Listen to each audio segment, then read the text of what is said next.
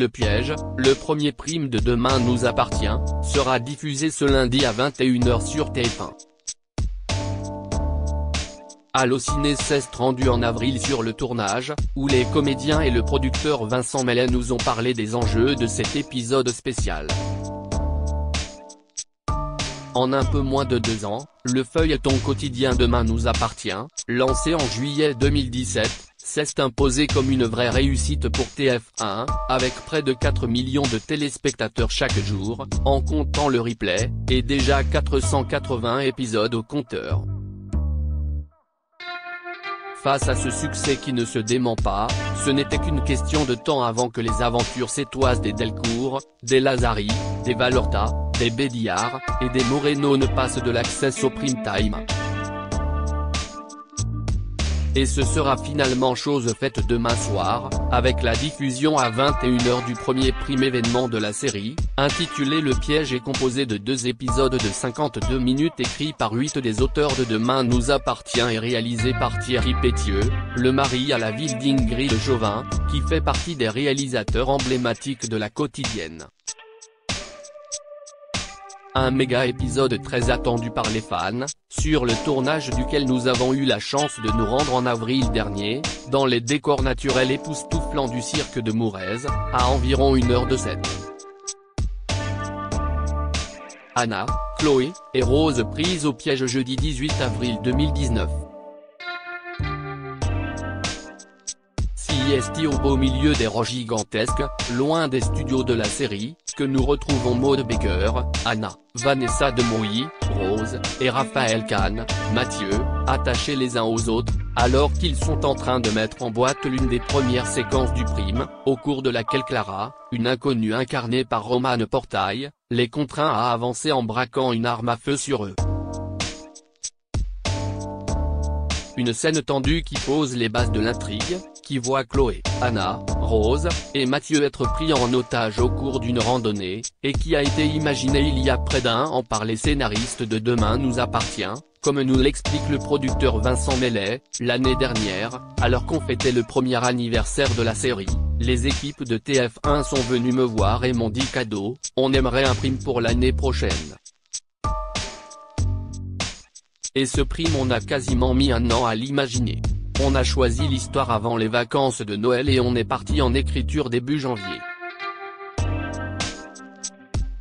Le résultat, à part de l'intrigue principale actuelle centrée sur l'hôpital, reprend bien évidemment les codes qui ont le fait le succès de la série, à savoir un mélange de romanesque, de drame, et de suspense, à l'image du récent enlèvement de César ou de l'empoisonnement de Victoire.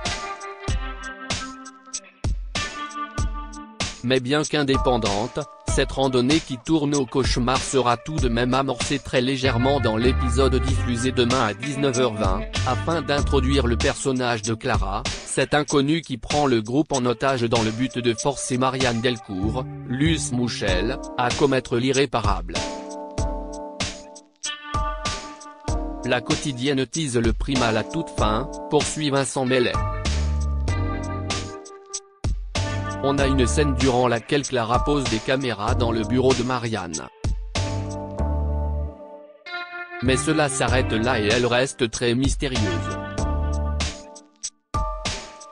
Lorsqu'elle prend ensuite les personnages en otage dans le prime au bout de 5 minutes, on ne sait pas du tout qui elle est. Mais on va finir par en apprendre davantage sur elle. Et la fin du prime lance une histoire qui va continuer ensuite dans la quotidienne. Une fin assez imparable qui donnera à coup sûr envie aux téléspectateurs de TF1 de se brancher dès le lendemain sur l'épisode du mardi pour connaître le sort réservé à l'un des personnages. Une intrigue pour les fans.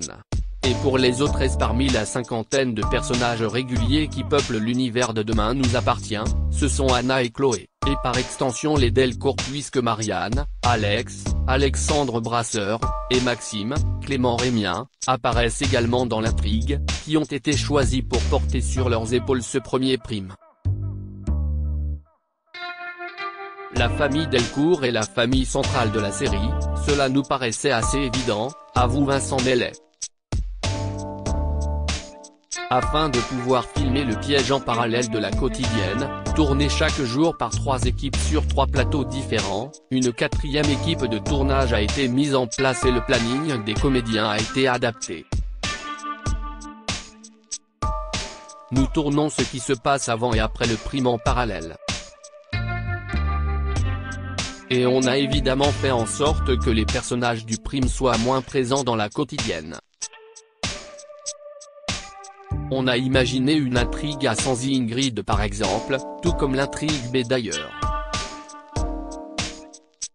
Elle est juste dans la suite du prime et dans quelques séquences qui ont été tournées en même temps, comme le baptême de César qui a terminé l'une des intrigues précédentes.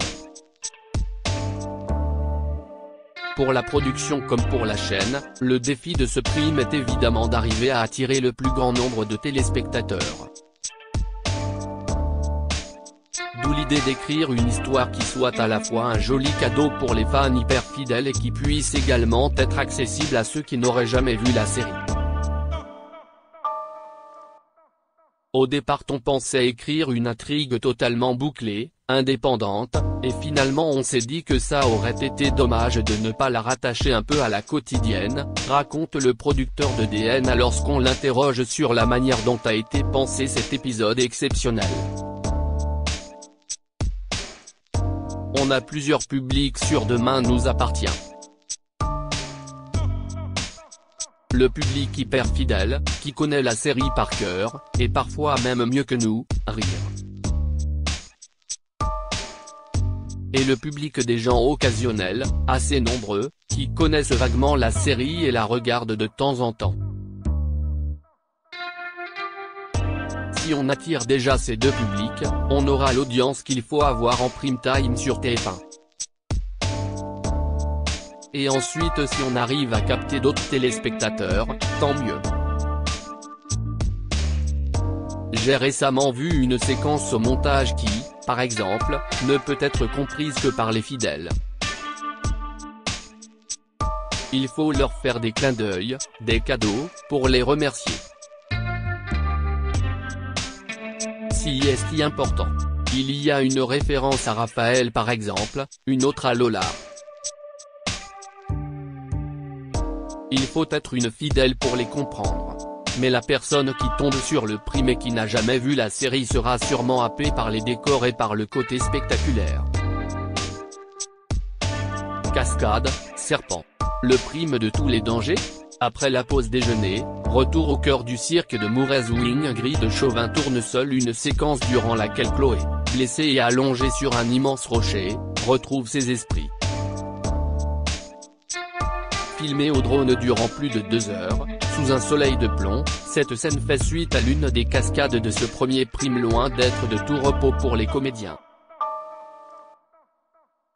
J'ai tourné une cascade pour une séquence dans laquelle Chloé évite une balle et tombe dans un ravin, nous explique Ingrid Chauvin entre deux prises. Je suis tombé sur un matelas mais j'avoue que j'aurais préféré tomber dans un nuage de plumes, rire. Mais bon les cascades ça reste marrant à faire, ça offre un peu de changement, c'est toujours agréable pour un comédien. Et puis ce prime CIST un vrai cadeau, on est ravis, et on tourne dans des endroits magnifiques, comme ici ou encore le lac de Salagou. Vanessa de Mouilly, qui met aujourd'hui en boîte sa dernière scène, a quant à elle dû faire face à un autre genre de défi sur ce tournage, en affrontant pour les besoins du scénario l'une de ses plus grandes phobies, celle des serpents. J'ai sauté dans les bras d'Ingrid lorsque j'ai vu le serpent débarquer, se souvient amuser l'interprète de Rose, avant d'ajouter qu'elle se gardera bien de parler de ses autres phobies à la production, afin de ne pas les voir incorporées à de futurs scénarios. Des scénarios qui, selon Vincent Mellet, devraient à nouveau inclure Rose de manière conséquente dès la rentrée. Rose fait partie de la famille DNA désormais, c'est un personnage qu'on souhaite utiliser régulièrement. On a des projets pour elle pour septembre-octobre.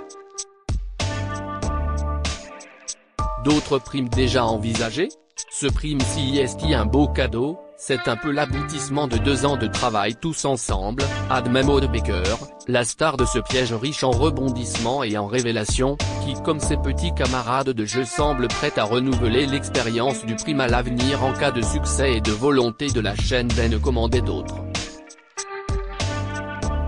Et la bonne nouvelle CIST que, comme plus belle la vie avant elle, demain nous appartient devrait bel et bien offrir 2 à 3 primes par an à ses fans si TF1 est satisfaite des audiences de ce premier numéro. La décision de TF1 sera certainement prise le lendemain de la diffusion du prime, confie le producteur de la série. Mais on se prépare déjà à l'idée d'un deuxième prime, car si un deuxième prime est commandé il va falloir qu'on s'y mette rapidement en termes d'écriture si on veut qu'il soit diffusé en fin d'année ou en début d'année prochaine. La bande-annonce du prime Le Piège, diffusée lundi 10 juin à 21h sur TF1.